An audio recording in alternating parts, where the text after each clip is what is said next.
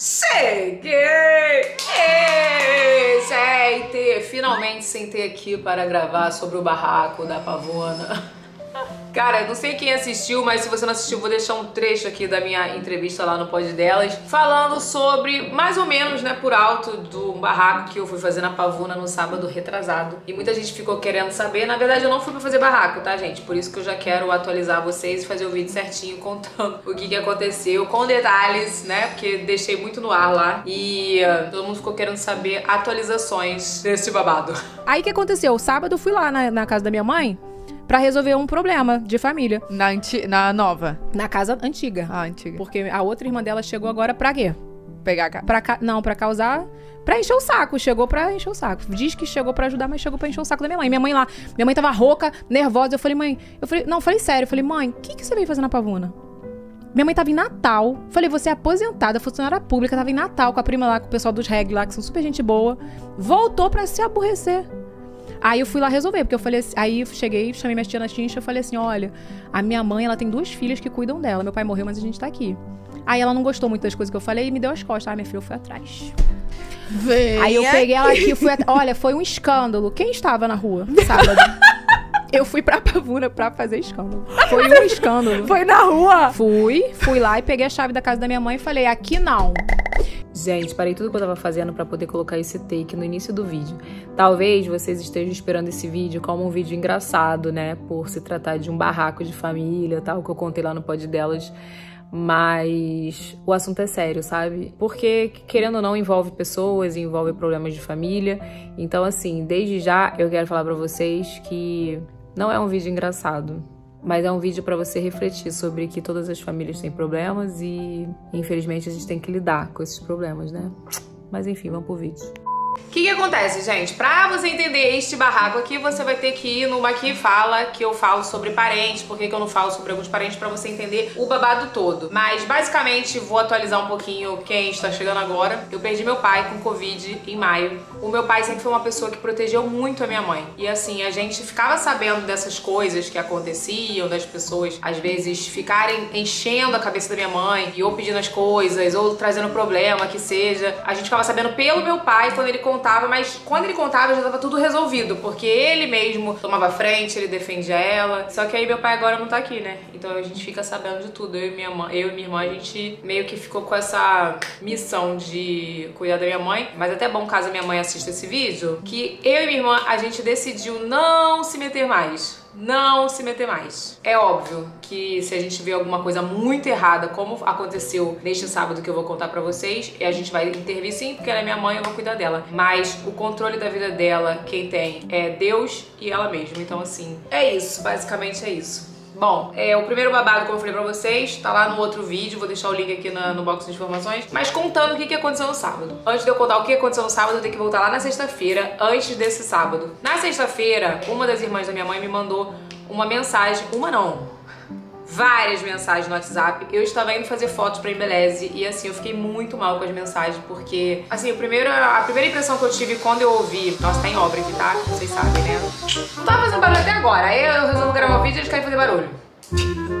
Mas enfim, a primeira impressão que eu tive quando eu vi os áudios foi que ela estava realmente preocupada com a minha mãe, né? E mandou uma mensagem para ajudar tal. Só que daí eu fui contar pra minha irmã o que estava acontecendo, porque eu fiquei muito preocupada com os áudios da minha tia. E essa tia não é a mesma tia do outro vídeo, não, tá? É outra tia, pra vocês entenderem. É... E aí minha irmã falou assim: Evelyn, não é nada disso. Não é nada disso. O babado aí é muito mais embaixo. O que aconteceu? É, na verdade, ela estava mandando um monte de mensagem, eu ainda não sei qual foi o intuito das mensagens, mas basicamente ela falava que minha mãe estava muito nervosa, que minha mãe estava fora de si. Como eu já falei pra vocês, a minha mãe tá fazendo tratamento de ansiedade, mas nada que eu veja que ela tá fora de si, que ela não tá consciente, nada disso. Ela tem as crises de ansiedade dela, normal, mas ela tá fazendo tratamento. E num desses áudios a, a minha tia fala assim que achava que talvez a gente pudesse internar ela numa clínica Isso mesmo que vocês ouviram. Aí eu fiquei assim, sabe? Eu fiquei muito preocupada com os áudios, mas quando eu falei com a minha irmã, a minha irmã, além dela saber das histórias, porque a minha irmã tava lá na Pavuna, minha mãe tava na Pavuna também, a minha irmã foi falar com a minha mãe, né? E a minha mãe contou a história toda, que na verdade essa minha tia tinha brigado com ela, tinha sido muito grossa com ela,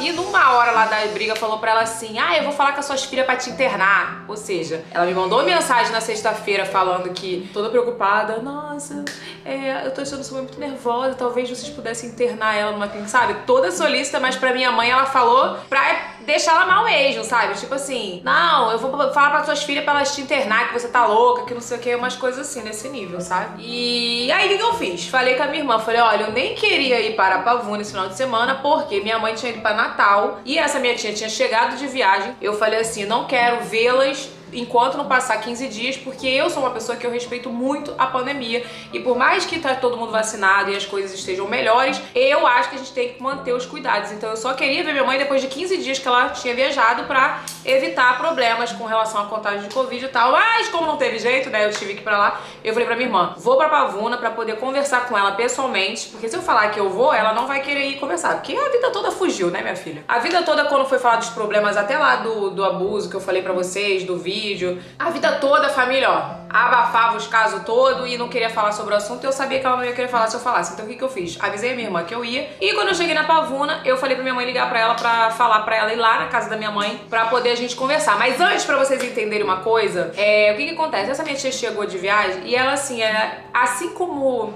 o outro babado que eu contei no outro vídeo, ela chegou toda com a vozinha assim, ai, ai, cheguei é, para ajudar a cuidar dos meus pais, porque vocês, se vocês viram lá no outro vídeo, teve esse assunto, né, que eu falei para vocês que tudo ficava muito nas costas da minha mãe, tanto questões de cuidado mesmo, como questões financeiras, ficava tudo nas costas da minha mãe, porque são três irmãos, mas era sempre assim, uma briga, sempre tudo nas costas da minha mãe. Se for fazer um aniversário, é minha mãe que faz. Se for comprar o um remédio, sabe? É, eles ajudam, acaba que no final ajuda, né? Eles se resolvem lá. Mas é sempre o fardo maior na minha mãe, porque minha mãe morava ali, do lado ali, né? Mas enfim, essa outra tia que mora lá no Escafundó do Juda, vendo toda essa situação, né, conversando com a minha mãe, minha mãe contando as coisas, né, da, dos cuidados com meus avós, tal, que teria que ser dividido, tal. E elas conversando, essa minha tia falou assim pra ela: "Não, eu vou, eu tô indo aí pro Brasil para poder ajudar, para poder compartilhar, porque para mim é um prazer cuidar dos meus pais, eu vou ficar lá, eu quero cuidar deles, eu quero ficar lá com eles, tal". Só que tipo assim, gente, uma coisa é você falar isso quando você tá distante, uma outra coisa é você falar isso quando você está dentro, vivendo a situação, né? E a gente sabe que tem muito mais problemas ali envolvidos, porque, por, por exemplo, tem essa questão, né, que eu já contei para vocês, do meu avô que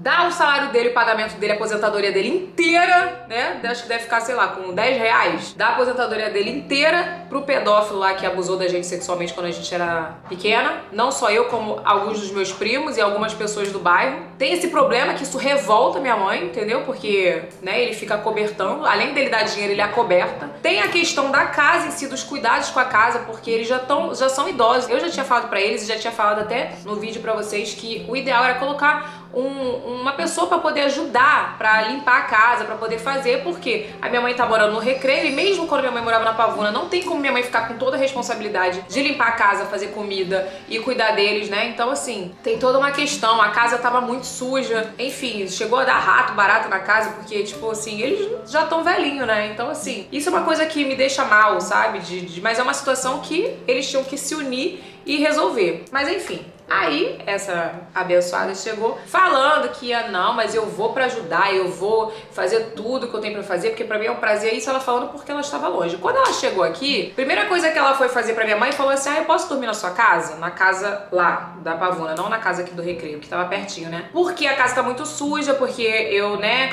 e eu tenho medo de barata, eu não quero ficar, tipo assim, mais uma mais coisa dessa. Já começou a recuar aí, porque se falou que queria ficar lá, que queria ficar junto, que queria cuidar, por que que queria dormir na casa da minha mãe. Mas tudo bem, até então a casa tá vazia, não teria problema nenhum ela dormir na casa. Eu mandei entregar cama na casa, porque tinha uma cama aqui de solteiro que não tava usando. Eu mandei entregar cama com colchão. Mandei uma bolsa, uma, uma, bolsa não. Mandei uma mala de coisas com shampoo, desodorante, coisas que porque a minha mãe tinha falado que ela não tinha trazido nada. Enfim, ajudei no que eu pude e ajudo no que eu posso. Quando chegou na sexta-feira, ela já brigou com a minha mãe, já tinha se estressado com a minha mãe, falou essas coisas pra minha mãe que eu achei um absurdo de falar pra minha mãe que ia mandar as filhas dela internar ela, não sei o quê. E daí então, eu falei que ela no sábado, fui lá no sábado para conversar com ela. E aí eu peguei, quando ela chegou, que ela deu de cara comigo com a minha irmã, ela já ficou assim, né? Eu tinha que ter filmado, tinha que ter câmera na casa da minha mãe, porque quando eu tava sentada assim que ela chegou, ela fez assim.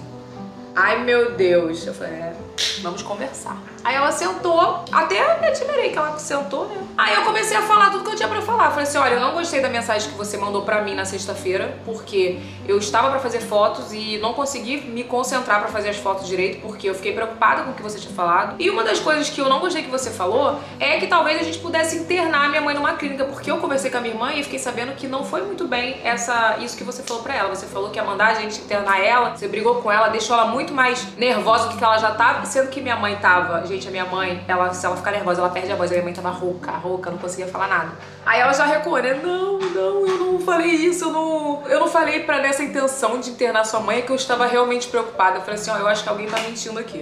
É você, mãe, que tá mentindo? Aí minha mãe, eu não, eu tô falando a verdade. Ela falou pra mim que ia mandar vocês me internar, ela não deixou dormir, ficou aqui brigando comigo. E assim, não é porque minha mãe não, tá? Diego tá aqui de prova, quer dizer, não está aqui neste momento, mas se vocês quiserem, chama ele aqui pra estar de prova. Que eu, quando eu tenho que brigar com a minha mãe, eu brigo mesmo. Se ela estiver errada, eu chamo ela na X e falo, mãe, você tá errada. Só que eu conheço a minha tia. E eu sei que ela é grossa mesmo, eu sei que ela é gênio ruinzinho do caramba, tá? Posso confirmar isso porque eu vou até falar uma coisa pra vocês. Que, por isso que eu falei pra vocês que o babado era muito grande. Não dava pra contar isso rápido lá no pod delas. Não dava, ó, já tô aqui gravando, já tem 12 minutos. E ainda não tô nem na metade da história. Mas enfim, é ruim você falar isso, que, é, que a pessoa é ruim. Não quero ficar afirmando isso de uma pessoa, mas assim, é, é uma pessoa difícil, tá? Eu lembro que essa casa que minha mãe mora hoje, que meu pai conseguiu comprar com muito esforço, meu pai e minha mãe, quem tinha comprado essa casa na época era minha tia. A gente era pequena, né? E ela falou que, que era pra gente morar nessa casa, que não precisava pagar ela, porque na época ela queria ajudar, né? Que a gente morava num apartamento muito pequeno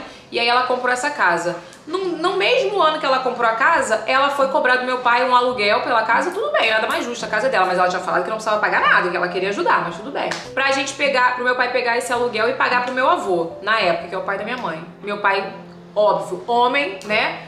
Com hombridade, com tudo, honrou, pagou o aluguel, mesmo ajudando, fazendo tudo, pagou o aluguel da casa pra, pro meu avô, pra ajudar meu avô. E beleza, ficamos lá morando muitos anos. E teve uma época da vida que ela ficou ruim de financeiramente. Eu deveria estar com os meus 14, 15 anos. Eu tenho lembranças, eu tenho lembranças do meu pai muito triste, me levando pra gente procurar casa pela Pavuna, porque a minha tia tinha pedido a casa. Ela se enrolou lá financeiramente, ela não quis nem saber se era a irmã dela, se era meu pai, se eram as sobrinhas dela que estavam morando na casa. Ela não quis nem saber. Tanto que o meu primo, o filho dela, falou: Mas mãe, onde é que meu pai, onde é que minha tia vai morar? Onde é que minhas primas vão morar? Sabe? Ele questionou ela. Ela não quis nem saber. Ela tava enrolada financeiramente e ela pediu a casa. Então, assim, tem um histórico aí, tá? De, de um gêniozinho difícil, tem um históricozinho aí de uma pessoa difícil. Enfim, eu não quero ficar julgando ela, mas assim, resumidamente, eu sei que minha mãe, se minha mãe falou que fez, ela fez. Porque minha mãe é uma pessoa que ela não mente. Ela pega e ela fala. Se ela falou que ela fez, ela fez. E a minha mãe falou: não, ela brigou comigo, ela falou isso, que você ia mandar vocês me internar, que não sei o quê. Então, assim, pra mim ela se fez de preocupada com a minha mãe, sabe? Ai, ai, Victor, preocupada com a sua mãe. Mas no fundo ela estava lá deixando minha mãe louca, deixando minha mãe brigando com a minha mãe e tal. E o que acontece, gente? É muito fácil, né? Falou que ia ajudar, falou que ia estar tá lá, mas quando ela viu a situação da casa lá do, dos meus avós e todas as coisas que tinha para fazer, ela pediu para dormir na casa da minha mãe. Só que aí o que, que aconteceu? Nesse meio tempo que a gente tava conversando, aí ela falou isso, que ela tava muito preocupada com a minha mãe.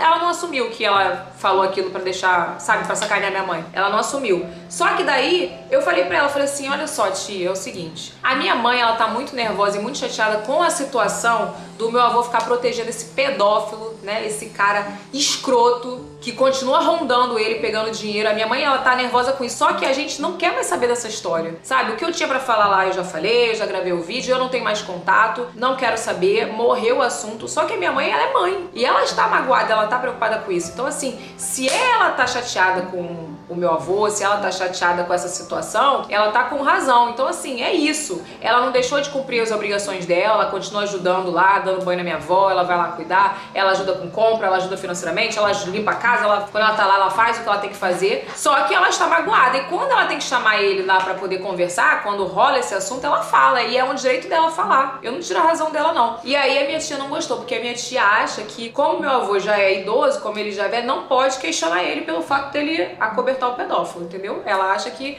meu avô é um santo que deu no céu e meu avô na terra, não pode brigar com ele. E daí, quando ela meio que começou a defender, eu falei assim: não, não concordo com você, tá? Pra mim, ele, o pedófilo, tinha que estar preso e meu avô junto, porque tá cobertando. Sabe da situação, sabe lá desde o início que não foi só comigo, sabe com todas as pessoas. E eu não vou falar as pessoas aqui, porque tem algumas pessoas que sofreram abuso que vocês conhecem. Ele sabe, ele continua cobertando, então ele tinha que estar preso. Aí quando eu comecei a falar do abuso, porque falei essa questão e falei que ela não defendeu os filhos dela também, falei que, porque ela sabia tudo que eles passaram também não defendeu, sempre acobertar a situação. A família inteira cobertou esse abuso, sempre, ai, não vamos mais falar desse assunto, ai, não né, morreu. Ah, sempre foi assim. Só que aí quando eu resolvi botar a boca no trombone, aí foi aí que o buraco ficou mais embaixo, né? E aí, quando eu comecei a falar isso, que ela fugiu a vida toda e que eu questionei ela, é, você vai continuar fugindo desse assunto? Aí ela não gostou, ela pegou e levantou, né, e me deixou falando sozinha. Aí, minha filha, olha, eu vou falar uma coisa pra você. Não me deixa falando sozinha, ainda mais falando o que eu tenho pra falar. Ainda mais fazendo o que ela fez com a minha mãe, falando que tinha que ter na minha mãe. Olha, eu fiquei tão revoltada. Que aí ela levantou, né, pra poder sair e eu fui atrás dela. Aí nisso que ela saiu do portão que chegou na rua, ela deu as costas porque eu tava falando, aí eu dei um berro, né? Eu falei assim: Tu vai fugir! Tu vai continuar fugindo como tu fugiu a vida inteira! Aí foi isso, né, minha filha. As pessoas saindo pra fora do portão assim, ó. Tinha até um vizinho meu que eu gosto muito que tava ali na, no meio da. Tava no meio da rua ali, ele ficou tipo assim, ó. Caraca, cara. Aí, resumindo, falei isso pra ela, falei, vai continuar fugindo? Então é isso. Então é isso, vai continuar fugindo, então beleza. Palmas pra vocês. Muito bonita a sua teoria de que veio pra ajudar, que veio, né, pra fazer a sua obrigação, mas não tá ajudando em nada. Tá vindo aqui pra trazer problema pra minha mãe e não queria ficar na casa, viver o problema porcaria nenhuma, queria ficar na casa da minha mãe. Eu fui lá, peguei a chave da casa da minha mãe e falei, então já que você veio pra cuidar dos seus pais, já que você veio pra ajudar, você me dá a chave da casa da minha mãe e vai ficar na casa dos seus pais, que é na mesma rua, né? E daí peguei a chave da casa da, da, da minha mãe, voltei pra casa da minha mãe e falei assim: olha, vou falar uma coisa pra vocês. Ela ia embora dia 27 de janeiro de 2022, porque eu comprei a passagem e eu sabia o dia que ela ia embora. Ou seja, ela ia ficar quase três meses aqui. Eu falei pra minha mãe e falei pra minha irmã: falei, vocês querem apostar quanto que ela não vai aguentar ficar aqui até janeiro? Ou se ela ficar até janeiro, ela vai mudar completamente a opinião dela com relação ao problema, porque ela ela vai ver, ela vai realmente viver o problema, o de tudo que está acontecendo, né, com essa situação inteira da família, desse, desse inferno, desse pedófilo, desse. Enfim. O que aconteceu? Fiquei sabendo que ela comprou uma nova passagem agora para ir embora dia 29. Por quê? Por quê? Hã? Por quê? Porque não está aguentando, né, meu amorzinho? Simplesmente é muito bonita a teoria, né? Ah, eu vou, eu vou fazer, vou acontecer. Você tava muito bem lá no, lá no fora do país, né? Mas aí quando vem pra cá pra ver o problema, ninguém aguenta viver o problema como minha mãe tá vivendo há anos. Minha mãe não cuidou só dos meus avós. Minha mãe cuidou do meu avô também, do, do pai do meu pai. Fiquei nervosa, o seu, o, a câmera até descarregou. A minha mãe, ela não cuidou só dos meus avós, ela cuidou do meu avô, de parte de pai também, avô paterno também. Então, assim, minha mãe tem muita responsabilidade. E o que eu queria, eu e minha irmã, a gente não quer tirar a responsabilidade da minha mãe de cuidar dos meus avós, né? É óbvio, até porque, graças a Deus, a gente tem que dar graças a Deus por eles estarem vivos, mas a gente gostaria que não ficassem trazendo problema pra minha mãe, porque minha mãe não teve nem tempo de viver o luto. Mal meu pai morreu, só problema em cima dela, só pedido, só coisas mesmo, tipo, sabe? Ninguém chega para trazer uma notícia boa, gente. É só tragédia, só problema, só reclamando da vida. E, pô, a minha mãe tá em tratamento de ansiedade, sabe? As pessoas não respeitam, ficam só usurpando. E outra coisa, eu falo uma coisa pra vocês, eu não me vanglorio, não, tá? Mas a vida toda, essa parte da família da minha mãe, né, deu problema não era à toa que meu pai era tido como ignorante, como que não se dava bem com todo mundo, da família. Por quê? Porque meu pai via as coisas e meu pai tentava proteger minha mãe. Então, assim, falando especificamente dessa tia, que eu me decepcionei muito, me decepcionei demais. E assim, não foi por falta de aviso, porque minha irmã já tinha me avisado, meu pai já tinha me avisado, né? Mas eu sempre tentando relevar. Não é pra me vangloriar, não, tá? Mas teve esse, esse assunto da casa aí que eu falei pra vocês, que eu lembro que meu pai ficou procurando casa, que ela pediu a casa quando eu tava com, com problema de financeiro, né? E anos depois, ela quase perdeu a casa dela. Ela não perdeu porque eu ajudei a pagar a casa dela. Não falo isso pra me vangloriar não, sabe? Mas eu falo pra você ver como que são as pessoas. Depois, na, é, nessa época que eu estava ajudando a pagar a casa dela, a gente sempre se falava, se falava sempre, ela me mandava mensagem. Depois disso, ela mal me mandava mensagem pra saber se eu tava bem. Igual foi agora quando veio pro Brasil. Só me mandou mensagem quando estava precisando, porque chegou aqui não tinha nada, precisou lá da cama, precisou morar, dormir na casa da minha mãe, precisou das coisas que ela não trouxe, shampoo, essas coisas, sabe? Então assim, se, você, se eu mostrar os áudios pra vocês, é tipo assim, ah, parecia até que ela tava realmente preocupada com a minha mãe, mas depois que eu fiquei sabendo que não foi nada disso, que foi só pra sacanear minha mãe mesmo, eu fiquei muito chateada, me decepcionei demais, porque é, na hora que ela precisou, ela, ela sempre me mandava mensagem de toda solista, né?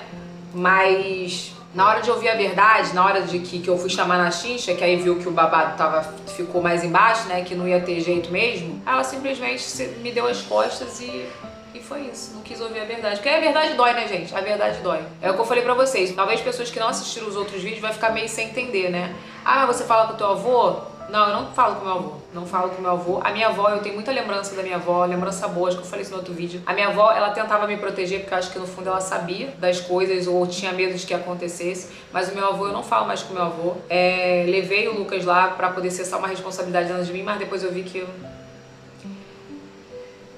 não há necessidade, não há necessidade. A partir do momento que uma pessoa toma uma posição na vida de que ela ignora um problema, né, a questão dessa da, da pedofilia, do abuso todo, e continua cobertando e não está do meu lado, eu não tenho que ter responsabilidade emocional com essas pessoas. Mas enfim, gente, o barraco da Pavuna era esse. Talvez vocês esperassem mais coisas do barraco, mas era isso. Eu compartilho, tô compartilhando aqui com vocês para vocês verem que toda família tem problema mas a gente também não é obrigado a ter responsabilidade emocional com essas pessoas e nem ficar se sentindo culpado por nada, porque eu acho que no fundo o que vale é a nossa intenção, a intenção do nosso coração. Mas é isso.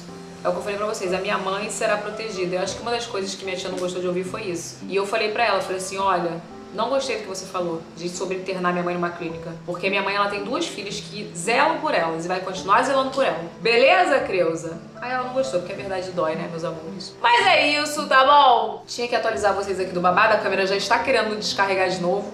Mas é isso, eu não tô querendo dar, né? Eu quero nem pedir pra você se inscrever no canal, porque hoje eu não tô bem não, sabe? Quando eu toco nesse assunto é uma coisa que, que me abala. Mas enfim, é isso, um beijo, fique com Deus e até o próximo vídeo.